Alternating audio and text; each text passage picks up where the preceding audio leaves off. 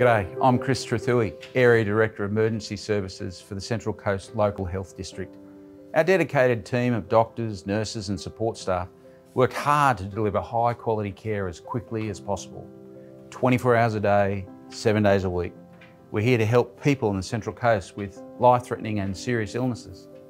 No doubt you've heard that over recent months, we've seen increasing activity in our emergency departments at both Gosford and Wyong.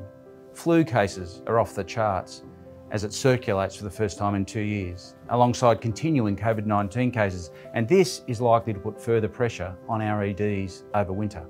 Our frontline emergency staff will still be here to help, but we need your help. Here are some little things you can do to make a big difference in our emergency departments. Take some simple steps to stay safe and well. Help stop the spread of illness by practicing good hand hygiene, by socially distancing and staying home from work or school if you're crook. Keep up to date with the vaccinations for COVID and flu to protect yourself and those around you. And finally, help us keep our hospital emergency departments free for emergencies. Now, I know this is tough, particularly out of hours, but for non-urgent medical conditions, try to speak to your pharmacist, your GP or other after-hour GP services.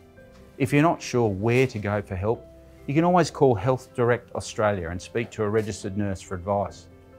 If you do find yourself in the emergency department, please know that you'll be assessed by one of our experienced triage nurses and seen in order of the medical priority of the problem you have.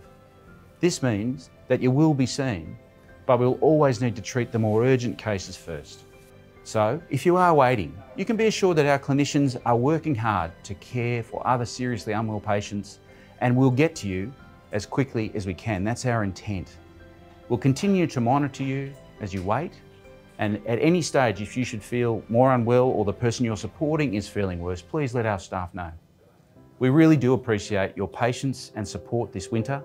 It's a tough season for us all. Thank you for helping us to continue to do our job and look after the people of the Central Coast.